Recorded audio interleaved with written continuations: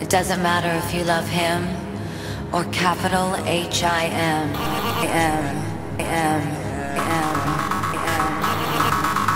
Just put your paws up, cause you were born this way, baby.